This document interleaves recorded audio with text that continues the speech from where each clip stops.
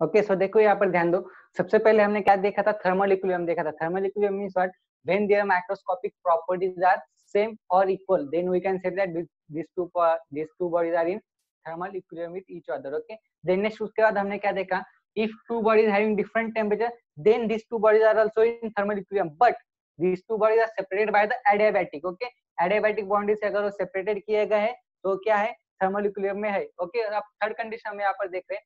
Third condition क्या है? यहाँ पर बाउंड्री कौन सी यूज़ की गई? दैट थर्मिक यहाँ पर यूज़ की गई ओके दैट थर्मिक यहाँ पर क्या किया है?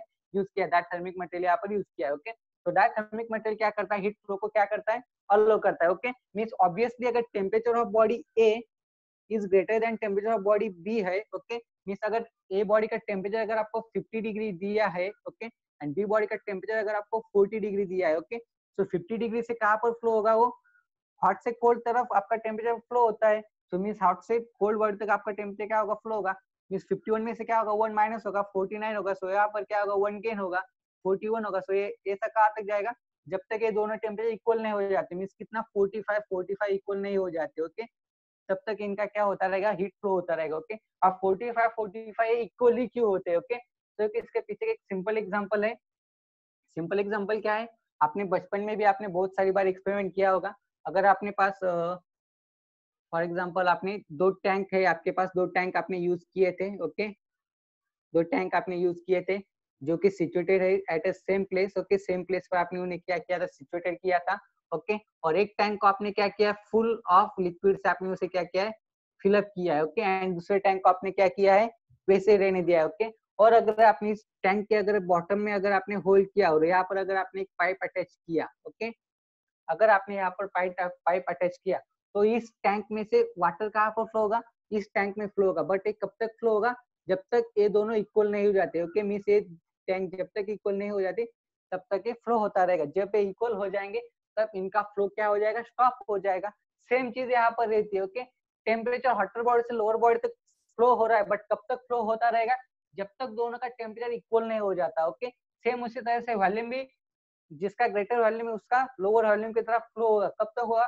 जब तक दोनों का वॉल्यूम इक्वल नहीं हो जाता सेम उसी तरह से प्रेशर भी प्रेशर भी जितना इक्वल नहीं हो जाता, तब तक क्या होता जाएगा? फ्लो होता जाएगा ओके और एक, यहाँ पर एक ऐसी कंडीशन आती है at a certain point this two bodies having same microscopic properties mean दोनों बॉडी का क्या रहता है? माइक्रोस्कोपिक प्रॉपर्टीज़ क्या रहता है? सेम रहता है टेम्परेचर भी सेम है प्रेशर भी सेम है वॉल्यूम भी सेम है नंबर ऑफ़ मोल्स भी सेम है मॉलिकुलर मास भी सेम रहता है। अगर दो बॉडीज का माइक्रोस्कोपिक प्रॉपर्टीज़ अगर सेम रहता है then we can say that this two bodies are in thermal equilibrium means यहाँ पर क्या है? ये दोनों बॉडीज भी क्या रहेंगे? एक दूसरे के साथ थर्मल इक्विलिब्रियम में रहेंगे। यहाँ पर मटेरियल कौन सा यूज़ किया था? डायथर्मिक बाउंड्री हमने यहाँ पर यूज़ की थी ओके आपको थर्मल इक्विलिब्रियम दिया आपके बुक के अंदर देने दो कंडीशन दिए सबसे पहली कंडीशन आपको दिया है एडियाबैटिक बाउंड्रीज अगर दो, when two bodies are separated by adiabatic boundaries, and then next when two bodies are separated by diathermic boundaries, okay? तो इसका जो डिस्क्रिप्शन है डिस्क्रिप्शन आपको बुक के अंदर दिया है। मेरे पास भी इसका डिस्क्रिप्शन है। शाम तक मैं इसका डिस्क्रिप्शन आपको डाल दूँगा ओके व्हाट्सएप के ऊपर या फिर क्लासरूम के ऊपर ओके तो ये दो कंसेप्ट क्लियर हो गए आपके। अगर थर्मल इक्विलिब्रियम आपको क्लियर है तो भी आपको इस चैप्टर के अंदर आगे चलकर आगे जो पॉइंट्स है, वो पॉइंट्स आपको समझ में आएँगे। तो क्लियर है क्या थर्मल इक्विलिब्रियम सभी स्टूडेंट्स को? या फिर किसी को कुछ डाउट्स है? या फिर कुछ क्वेरीज है? अगर कुछ डाउट्स है क्वेरीज है तो आप बिंदास मुझे पूछ सकते हो अभी ओके बट विदाउट क्लियरिफिकेशन आगे नहीं जाना है हमें।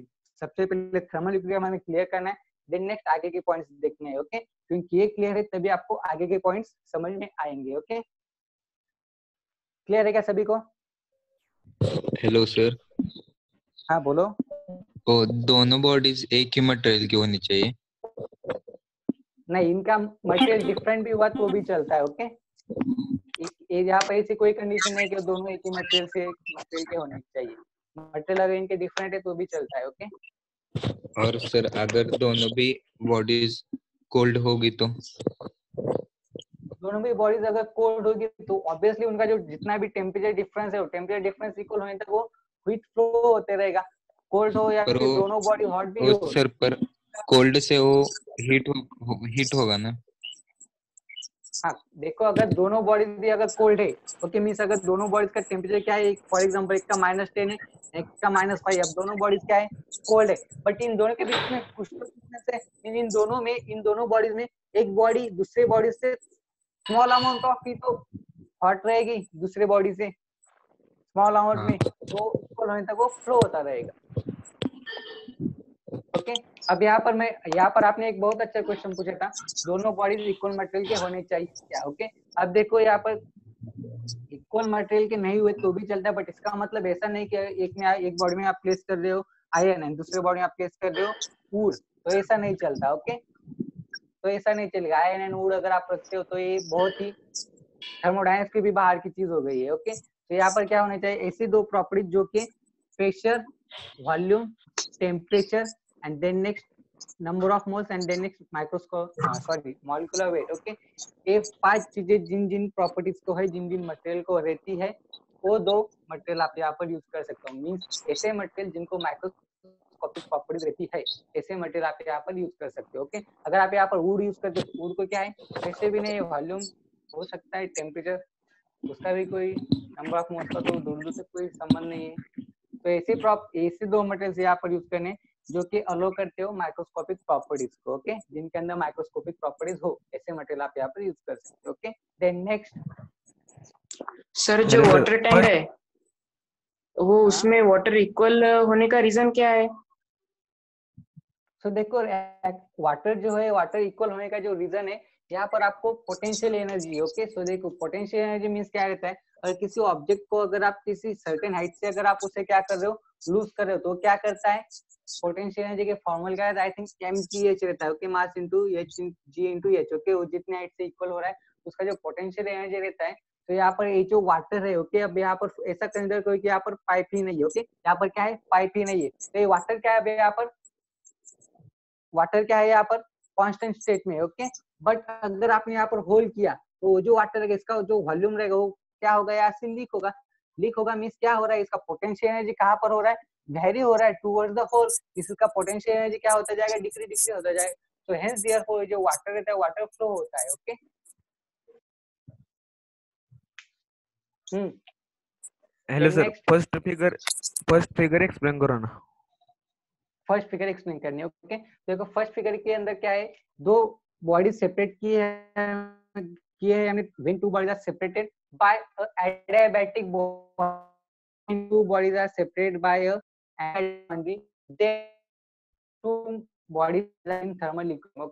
वो क्या कैसे रहते हैं।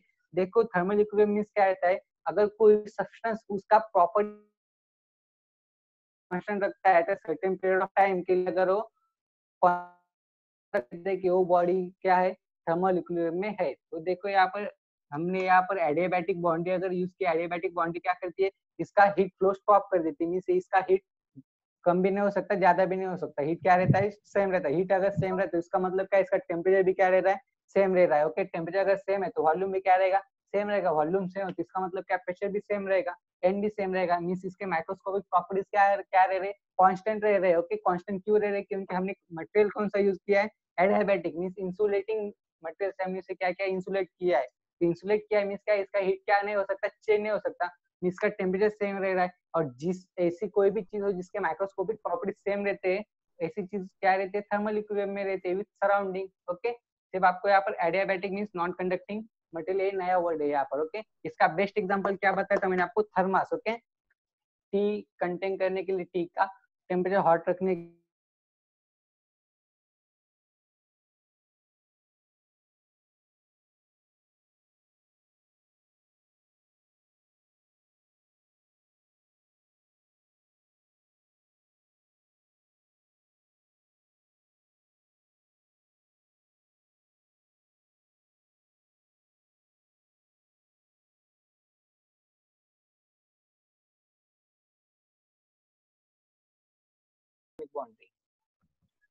हेलो ओके सर हाँ बोलो। अगर एनएमएलएस बिहेवियर से उसका वॉल्यूम चेंज हो गया तो? एनामोलस बिहेवियर से उसका वॉल्यूम अगर चेंज हुआ तो। सो देखो एनामोलस बिहेवियर मींस क्या रहता है? ज़ीरो डिग्री से लेकर फोर डिग्री तक ओके वो स्पेशल केसेस रहते हैं ओके एनामोलस आपने जो कहा है एनोमोलस बिहेवियर एनोमोलस बिहेवियर के अंदर क्या होता है? ज़ीरो डिग्री से लेकर फोर डिग्री तक वाटर क्या करता है? उसका अगर वाटर को अगर हम हीट करते हैं ज़ीरो डिग्री से लेकर फोर डिग्री तक अगर हम वाटर को हीट करते हैं, या फिर किसी को लिक्विड को अगर हम हीट करते हैं जनरली वाटर को प्रेफर किया जाता है। अगर हम वाटर को हीट करते हैं ज़ीरो डिग्री से लेकर फोर डिग्री तक तो वाटर की जनरल प्रॉपर्टीज़ क्या रहते हैं? उसका वॉल्यूम क्या करना चाहिए? उसने एक्सपांड करना चाहिए, या फिर टेम्परेचर क्या करना चाहिए? इंक्रीज करना चाहिए। But instead of expanding their volume water क्या करता है? कांटेक्ट होता है ओके तो वहाँ पर वो क्या हो जाता है? वाटर कॉन्टैक्ट हो जाता है। तो यहाँ पर ए जो रहता है ज़ीरो डिग्री से लेकर फोर डिग्री तक आप उसका वॉल्यूम अगर कम हो रहा है ऑब्वियसली अगर एक बॉडी का वॉल्यूम अगर कम हो रहा है तो ऑब्वियसली सेकेंड बॉडी का वॉल्यूम भी क्या होगा? कम ही होगा ना। थर्मोडिक्विलिब्रियम मीन क्या है? दोनों बॉडीज का क्या होना चाहिए? टेम्परेचर सेम होना चाहिए। अगर एक बॉडीज का अगर आप अनोमलस बिहेवियर का अगर आप टेम्परेचर यूज़ कर रहे हो तो सेकेंड बॉडी का भी आपको क्या रहेगा? वही रहेगा। अगर आप ए यूज़ कर रहे हो क्या? डायथर्मिक यूज़ कर रहे हो तो डायथर्मिक अगर आप यूज़ कर रहे हो तो आपका जो एनोमोलस का जो टेम्परेचर ज़ीरो डिग्री से लेकर फोर डिग्री तक है, अगर एक बॉडी का क्या है ज़ीरो डिग्री से लेकर फोर डिग्री तक सेकंड बॉडी का आई थिंक कोई भी लोग फिफ्टी डिग्री है तो इन दोनों का क्या होगा? फिफ्टी से हॉट से क्या होगा? कोल्ड की तरफ़ फ्लो होगा ओके और अगर यहाँ पर ऐसा है ओके और अगर आपने एरियाबैटिक यूज़ किया है, और एक का है ज़ीरो डिग्री से लेकर four degree mean anomalous behaviour है ओके और यहाँ पर फिफ्टी डिग्री एनोमोलस बिहेवियर भी है तो यहाँ पर क्या रहेगा? उसका क्या जो भी वॉल्यूम रहेगा, जो भी टेम्परेचर रहेगा, वो क्या रहेगा? कॉन्स्टेंट रहेगा। वो चेंज तो नहीं हो सकता ना। कॉन्स्टेंट ही रहेगा। एनोमोलस बिहेवियर के अंदर भी उसका वॉल्यूम क्या रहेगा? कॉन्स्टेंट ही रहेगा। वो चेंज तो नहीं हो सकता। जितना कॉन्ट्रैक्ट करना है, उतना कॉन्ट्रैक्ट कर लेगा। और उसकी जो लिमिट रहेगी कॉन्ट्रैक्शन की, वो क्या रहेगी उसकी? आखिरी वैल्यू रहेगी। तो उसके उसके ज़्यादा वो कॉन्ट्रैक्ट नहीं कर सकता। तो यहाँ पर भी वो क्या रहेगा? इक्विलिब्रियम कंडीशन में ही रहेगा। तो इसलिए एनोमोलस बिहेवियर से कुछ ज़्यादा कुछ आ, क्या कहेंगे हम उसे इफ़ेक्ट नहीं होता है ओके एनोमोलस बिहेवियर के अंदर भी। ओके देन नेक्स्ट क्लियर है सभी को थर्मल इक्विलिब्रियम यस सर हाँ बोलो थर्मल इक्विलिब्रियम क्लियर है क्या? देन नेक्स्ट लेना है yes sir yes sir okay so देखो अब मैं आपको Yes, एक बात बताता हूँ कल शायद ऋषिकेश सर ने आपको एक लिंक सेंड किया होगा ओके एनसीईआरटी के बुक्स के लिए ओके तो वहाँ पर जाओ बुक्स में से आपको इलेवेंथ फिजिक्स का part one and part two आपको डाउनलोड करना है और पार्ट टू के अंदर आपको थर्मोडायनेमिक्स लेसन नंबर ट्वेल्व पर दिया है ओके पार्ट टू के अंदर ओके तो वो लेसन देखो उसके अंदर आपको ये दोनों कंडीशंस का डिस्क्रिप्शन दिया गया है वो डिस्क्रिप्शन को रीड करो। मेरे पास भी डिस्क्रिप्शन है मैं भी आपको सेंड कर देता हूँ। तो उस डिस्क्रिप्शन को रीड करो। रीड करने के बाद आपका पूरा कंसेप्ट क्लियर हो जाएगा ओके देन नेक्स्ट अब इसके बाद जो है, इसके बाद क्या आता है आपका? जीरत लॉ आता है ओके सो देखो जीरत लॉ मीन्स क्या रहता है? देखते हैं। देखो जीरत लॉ के बारे में एक स्टोरी है। बहुत ही इंटरेस्टिंग है, मैं आपको बताता हूँ।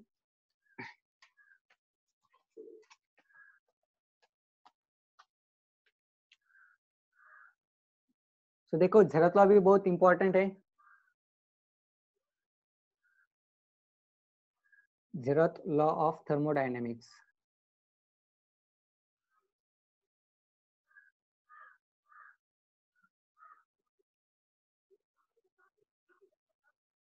okay so देखो zeroth law of thermodynamics okay Z E R O T H zeroth law of thermodynamics okay तो आप सभी के लिए एक क्वेश्चन है जेरथ लॉ ऑफ़ थर्मोडायनामिक्स जो है ओके इसका नाम जेरथ क्यों रखा होगा ओके सभी के लिए क्वेश्चन है ओके इसका नाम जेरथ ही क्यों रखा होगा? Anyone anybody knows about this fact sir scientist का Sci- नाम शायद। साइंटिस्ट का नाम जेरथ होगा okay then next anyone having a different answer value zero value zero होगा हाँ then next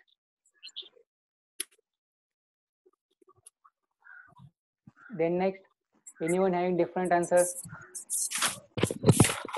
equilibrium का डिफरेंस ज़ीरो ओके इक्विलिब्रियम का डिफरेंस ज़ीरो ओके तो देखो कोई बात नहीं आप सभी को अब मैं फैक्ट बता रहा हूँ इसके पीछे का फैक्ट क्या है सो ध्यान दो ओके बहुत इंटरेस्टिंग फैक्ट है ओके तो देखो जब थर्मोडायनामिक्स ब्रांच यानी कि थर्मोडायनामिक्स का एक सेपरेट ब्रांच है आपको यहाँ पर लेसन है बट थर्मोडायनामिक्स का एक सेपरेट ब्रांच है. इंजीनियरिंग के अंदर थर्मोडायनामिक्स सेपरेट ब्रांच है सेपरेट सब्जेक्ट है. इस थर्मोडायनामिक्स एक ऐसा सब्जेक्ट है जिसके अंदर बहुत सारे लोग पीएचडी भी कर चुके हैं ओके और कर भी रहे ओके मुझे भी थर्मोडाइनमिक्स के अंदर पीएचडी करना है ओके तो थर्मोडाइनमिक्स इतना इंटरेस्टिंग टॉपिक है ओके तो देखो, आपको सिर्फ़ ये लेसन दिया है, आपको सिर्फ़ ये बेस दिया है बट थर्मोडाइनमिक्स ये इतना वास्ट ब्रांच है, बहुत इसके अंदर बहुत कुछ सीखने को मिलता है आपको थर्मोडाइनमिक्स के अंदर। तो देखो बेसिकली जब थर्मोडाइनमिक्स का रिसर्च चालू था, जब थर्मोडाइनमिक्स ब्रांच बन रही थी, तब थर्मोडाइनमिक्स ब्रांच के अंदर सबसे पहला लॉ कौन सा बना? First law of thermodynamics okay? सबसे पहला लॉ कौन सा बना? First law of thermodynamics then next कौन सा बना? Second law of thermodynamics derive किया साइंटिस्ट ने। साइंटिस्ट ने क्या किया? सबसे पहला first law of thermodynamics derive किया then next second law of thermodynamics derive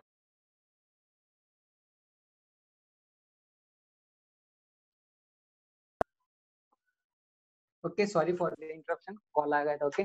सो देखो, साइंटिस्ट ने क्या किया था? थर्मोडाइनमिक्स के अंदर सबसे पहला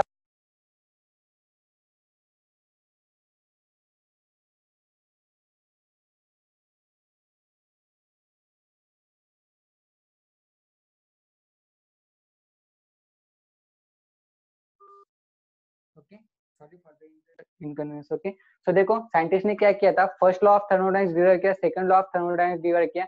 ये दो लॉ करने के बाद इन्होंने एक और भी लॉ है, इनको ऐसा पता चला, एक और भी लॉ है, जो कि इन दो लॉ का क्या है? बेस है। ये दो लॉ से बेस एक और भी लॉ इन्होंने डिराइव किया। अब फ़र्स्ट लॉ तो डिराइव हो चुका था सेकंड लॉ भी डिराइव हो चुका था, और ये दो लॉ जिस लॉ के ऊपर बेस है, वो लॉ इसके बाद में साइंटिस्ट ने डिराइव किया। बट अब इसको नाम क्या देना है? तो फ़र्स्ट लॉ होगा सेकंड लॉ होगा। तो फ़र्स्ट से कौन सा नंबर आता है? ज़ीरो नंबर आता है। सो so, इसलिए इस लॉ को क्या नाम दिया?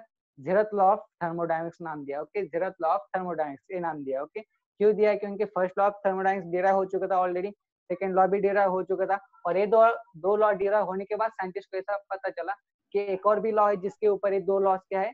डिपेंड्स है। तो इसलिए उन्होंने क्या किया? फ़र्स्ट से पहले जो नंबर आता है कौन सा नंबर आता है? फ़र्स्ट से पहले ज़ीरो नाम आता है ओके तो इसलिए जेरोथ लॉ ऑफ़ थर्मोडाइनमिक्स दिया है ओके आपके ट्वेल्थ में ट्वेल्थ के सिलेबस में थर्मल इक्विलिब्रियम होगा थर्मल इक्विलिब्रियम के बाद आपको जेरोथ लॉ दिया है ओके बट अगर आप आगे चल के इंजीनियरिंग साइड में जाते हो, तब आपको क्या रहता है? थर्मल इक्विलिब्रियम के बाद सबसे पहले आपको रहता है first law of thermodynamics second law of thermodynamics third law of thermodynamics and then next सब होने के बाद आखिर का टॉपिक आपको जेरोथ लॉ ऑफ़ थर्मोडाइनमिक्स रहता है ओके वो इंजीनियरिंग में इसलिए आखिर में दिया है, क्योंकि वो सीक्वेंस वाइज दिया है बट यहाँ पर आपको क्या क्या सीक्वेंस किया गया है ओके तो देखो फ़र्स्ट ऑफ़ थर्मोडाइनमिक्स से पहले आपको जेरोथ लॉ क्या है वो पता होना ज़रूरी है, क्योंकि जेरोथ लॉ के ऊपर ही आपको आगे के दो लॉज रहते हैं। First of thermodynamics then next second law of thermodynamics okay तो जेरोथ किसी साइंटिस्ट का नाम नहीं है। अगर आप कोई भी लॉ हो तो ऐसा नहीं कि हर कोई लॉ साइंटिस्ट के नाम से दिया गया है ओके कुछ फैक्ट्स भी रहते हैं, कुछ लॉस के पीछे ओके तो देखो जेरोथ लॉ कोई साइंटिस्ट का नाम नहीं जेरोथ कोई साइंटिस्ट का नाम नहीं है ओके तो देखो बेसिकली जेरोथ लॉ क्या रहता है, अब हम ये देखेंगे ओके सो देखो फॉर एग्ज़ाम्पल आपके पास एक बॉडी दी है, आपको एक बॉडी दिया है। For example this was a body okay अब ए बॉडी दिया है आपको ए बॉडी का टेम्परेचर फॉर एग्ज़ाम्पल एज्यूम करो temperature T A pressure P A या फिर वॉल्यूम वी ए सारी चीज़ें आप एज्यूम कर लो कि इसके सम अमाउंट ऑफ़ दिया है, इसका कोई तो वैल्यू होगा ओके तो देखो ए बॉडी दिया है और ए बॉडी के ऊपर हमने प्लेस किया है बी बॉडी ओके अब देखो ए बॉडी के ऊपर क्या प्लेस किया हमने? बी बॉडी को हमने क्या किया है? प्लेस किया है ओके अब देखो बी बॉडी को अगर आप प्लेस कर रहे हो ओके तो इसका मतलब क्या है? अब मैंने आपको जो एक फैक्ट बताया था थर्मल इक्विलिब्रियम में क्या कंसिडर किया जाता है? 99 केसेस में क्या कंसिडर किया जाता है? अगर दो बॉडीज का टेम्परेचर इक्वल हो तो देन हम क्या कहते हैं? कि थर्मल इक्विलिब्रियम में है ओके अब यहाँ पर भी वही कंसेप्ट टेम्परेचर का ही कंसेप्ट यहाँ पर यूज़ किया गया है ओके तो देखो ए बॉडी के ऊपर हमने क्या किया है? बी बॉडी हमने यूज़ किया है। After some time A body and B body का क्या हो जाएगा? टेम्परेचर क्या हो जाएगा? सेम हो जाएगा। ए बॉडी का एंड बी बॉडी का टेम्परेचर क्या हो जाएगा? सेम हो जाएगा। जब इनका टेम्परेचर सेम हो जाएगा, तब ये दो बॉडीज क्या रहेंगे एक दूसरे के साथ? थर्मल इक्विलिब्रियम में रहेंगे ओके तो A body is with thermal equilibrium is with B body okay then next अब मैं यहाँ पर क्या करता हूँ? एक और बॉडी यहाँ पर मैं प्लेस करता हूँ ओके इस बॉडी को नाम दिया सी बॉडी ओके अब सी बॉडी भी ए बॉडी के साथ आफ्टर सम टाइम क्या हो जाएगा? थर्मल इक्विलिब्रियम कंडीशन में हो जाएगा। क्यों हो जाएगा? क्योंकि हमने देखा है, इससे पहले भी हमने पढ़ा है कि हॉट बॉडी से कोल्ड बॉडी तक क्या होता है? टेम्परेचर फ्लो होता है और कब तक फ्लो होता रहेगा? जब तक दो बॉडीज का टेम्परेचर सेम नहीं हो जाता। जैसे यहाँ पर एक ऐसा पॉइंट आएगा, जब temperature of A body is equal to temperature of B body हो जाएगा। अगर इनका टेम्परेचर इक्वल हो जाता है, इसका मतलब क्या है? ये दो बॉडीज एक दूसरे के साथ क्या है? थर्मल इक्विलिब्रियम है। देन नेक्स्ट अगर ए बॉडीज का टेम्परेचर अगर सी बॉडीज तक फ्लो होता है तो मीन्स यहाँ पर ऐसे पॉइंट तक फ्लो होगा, जब तक उनका टेम्परेचर सेम नहीं हो जाता means T A is equal to T C हो जाएगा। Means A body is in thermal equilibrium with B body then next A body is in thermal equilibrium with C body तो यहाँ पर concept क्या है? अगर ए दो बॉडी इस बॉडी के साथ थर्मल इक्विलिब्रियम में है तो इसका मीनिंग ए है temperature of B body is equal to temperature of C body means B and C are also in thermal equilibrium with third body इसका स्टेटमेंट क्या रहता है? If two bodies are in thermal equilibrium with each other, then the third body is also in thermal equilibrium with that two bodies. Okay, दो bodies के साथ भी वो क्या रहेगा? थर्मल इक्विलिब्रियम में रहेगा। इसके पीछे का कंसेप्ट क्या रहता है? ये दो बॉडीज अगर थर्मल इक्विलिब्रियम में हो रही है, ये दो बॉडीज भी थर्मल इक्विलिब्रियम में है तो इसका मतलब क्या है? बी एंड सी भी क्या है? एक दूसरे के साथ थर्मल इक्विलिब्रियम में है ओके थर्मल इक्विलिब्रियम में प्रेजेंट है। ये इसके पीछे का छोटा सा लॉजिक था। इसके अंदर ज़्यादा कुछ कॉम्प्लिकेटेड थिंग्स नहीं है। ज़रूरत लॉ बहुत ही सिंपल है ओके सिर्फ़ एक फिगर आपको ध्यान में रखना है और इसका स्टेटमेंट आपको ध्यान में रखना है ओके क्लियर है सभी को? सिर्फ़ फिगर ध्यान में रखो। स्टेटमेंट आपको बुक के अंदर दिया है ओके क्लियर है सभी को? ज़रूरत लॉ ऑफ़ थर्मोडायनामिक्स क्लियर है क्या सभी को? Yes, sir. ओके तो चलो हेडिंग दो ज़रूरत लॉ ऑफ़ थर्मोडायनामिक्स चलो सभी ने हेडिंग देना है फिगर ड्रॉ करना है ओके हेडिंग दो सभी ज़रूरत लॉ ऑफ़ थर्मोडायनामिक्स देन उसके बाद फिगर आपको ड्रॉ करना है।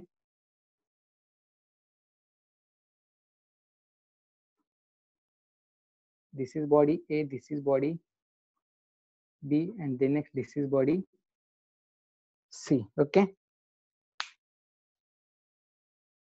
तो चलो ड्रॉ करो और हेडिंग दो।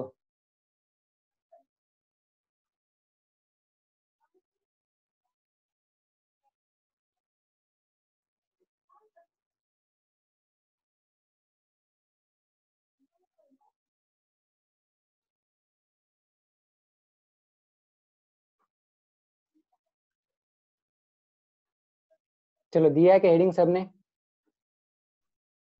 Yes, यस चलो, अब इसका स्टेटमेंट मैं आपको बोल दे रहा हूँ स्टेटमेंट राइट करो। ओके राइट करो। When two systems are in when two systems are in when two systems are in when two systems are in thermal equilibrium with third system when two systems are in thermal equilibrium when two systems are in thermal equilibrium with third system with third system with third system separately separately separately then then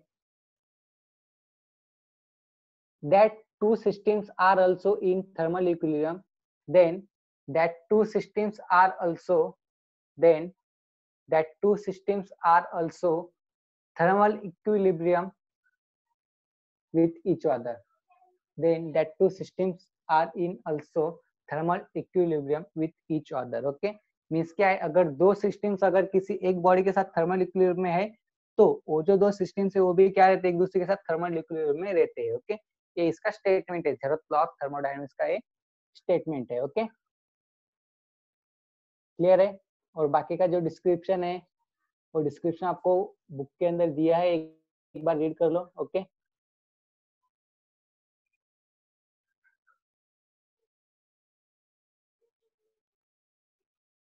clear है सभी को? ज़रूरत law clear है क्या सभी को Yes, sir. Zeroth law clear है. सभी को Yes, sir. देखो बहुत ही सिंपल है। तो आज हमने जो जो okay good very good okay तो देखो आज हमने जो जो देखा है थर्मल इक्विलिब्रियम हमने सबसे पहले देखा देन उसके बाद दो कंडीशन उसकी देखिए देन नेक्स्ट उसके बाद thermal sorry zeroth law of thermodynamics हमने देखा है ओके एंड देन नेक्स्ट उसके बाद आता है heat work and internal energy okay next point क्या है आपका? Heat work and internal energy so देखो heat work and internal energy okay ये भी लगते तो बहुत ही सिंपल पॉइंट्स है, बहुत ही simple heat means what work means what internal energy means what आपको लगता है कि बहुत इजी है, बहुत सिंपल है बट सिंपल नहीं है। जो आपके कॉम्पिटेटिव एग्ज़ाम्स है, उसके अंदर सिंपल कंसेप्ट के ऊपर ही हार्ड क्वेश्चन पूछा जाता है हार्ड टाइप का क्वेश्चन एक चीज़ आपको ध्यान में रखो हमेशा ओके जो आपको सिंपल लगता है ना, उसी के अंदर वो लॉजिकली हार्ड क्वेश्चन पूछते हैं। जो सिंपल लगता है, उसी के ऊपर वो कंसेप्ट वाइज क्वेश्चन पूछते हैं ओके और आपको लगता है कि आपने आंसर सही टिक किया है बट एक्चुअल में आपका आंसर इनकरेक्ट रहता है। उसके पीछे एक लॉजिक रहता है कंसेप्ट रहता है। ओके तो heat work and inter energy जो है, आज के जैसे ही टॉपिक है, जो कि आज थर्मल इक्विलिब्रियम हमने देखा था, बहुत ही सिंपल लगता है। डेफिनेशन भी बहुत सिंपल है, बहुत सारे बुक में बहुत सिंपल सी डेफिनेशन दी है बट वो इतना सिंपल नहीं जितना लगता है ओके तो देखो heat work and inter energy ये भी सेम उसी तरह से आपको बहुत सिंपल लगेंगे बट सिंपल नहीं है ओके डिटेल में इसका जो है डिस्क्रिप्शन इसका heat work and inter energy कल के लेक्चर में हम इसे देखेंगे ओके तब तक आपको आज का होमवर्क क्या है, जो आज मैंने पढ़ा है, उसे आपको रिवाइज करना है ओके और आपको असाइनमेंट थर्ड भी आपको सेंड करना है ओके कुछ क्लासरूम के ऊपर थोड़ा सा काम बाकी आज मैं कंप्लीट कर दूँगा, आपके गूगल क्लासरूम के ऊपर थोड़ा सा काम बाकी आज मैं कंप्लीट कर दूँगा। और कल के लेक्चर में heat work and inter energy हम देखने वाले बहुत इजी है। अगर आप लेक्चर अटेंड करते हो तो ओके और आपके हाथ के मार्क्स के ओके मीन्स हैंड्स के मार्क्स के आपके, बहुत इजी है। अगर आप लेक्चर अटेंड करते हो तो इसके लिए कल का लेक्चर भी बहुत इंपॉर्टेंट है। कल हम सुबह सिक्स बजे इसका लेक्चर लेंगे, सुबह छह बजे इसका लेक्चर लेंगे। कल का लेक्चर सबको अटेंड करना है। कल का लेक्चर भी बहुत इंपॉर्टेंट है ओके क्लियर है सबको? यस सर ठीक है तो Yes, आज हम यहाँ पर स्टार्ट करें। या सॉरी आज हम यहाँ पर स्टॉप कर देंगे heat work and internal energy कल का lecture okay heat work and internal energy पर बेस रहेगा। एंड देन नेक्स्ट कल ये होने के बाद फ़र्स्ट लॉ ऑफ़ हम स्टार्ट करेंगे। First law of thermodynamics okay उसे हम स्टार्ट करेंगे और इसलिए कल का लेक्चर बहुत इंपॉर्टेंट है। कल का ही नहीं थर्मोडायनेमिक्स के सारे लेक्चर्स आपको बहुत इंपॉर्टेंट है ओके क्योंकि थर्मोडायनेमिक्स लेसन आपको ज़्यादा से ज़्यादा मार्क्स देकर जाता है। बोर्ड एग्ज़ाम्स हो या फिर आपका कॉम्पिटेटिव एग्ज़ाम्स हो तो इसलिए थर्मोडायनेमिक्स के सभी लेक्चर्स आपको बहुत इंपॉर्टेंट रहेंगे ओके? कोई भी लेक्चर मिस नहीं करेगा कल का भी और परसों का भी और सभी लेक्चर ओके? ठीक है? तो आज के लिए हम यहाँ पर स्टॉप करते हैं। Once again very very good afternoon to all of you. Have a nice day. uh, Rishikesh sir yes sir अलियो करता हूँ सर फिर आज के लिए। सर कल सुबह सर मॉर्निंग में सिक्स ए एम है। हो ओके मॉर्निंग में सिक्स ए एम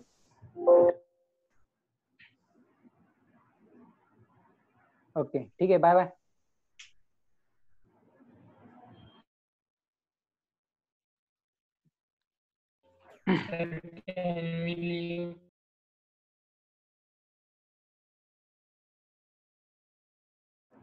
स्टूडेंट्स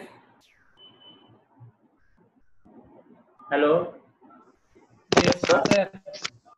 आप लोग को अ, मैंने ये sir. किया है